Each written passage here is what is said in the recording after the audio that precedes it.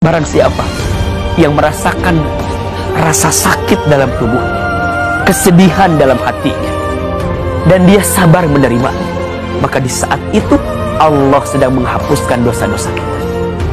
Percayalah, makin kita ridho, makin kita sabar dengan ujian, maka di saat itu ampunan Allah sedang dihadirkan untuk kita.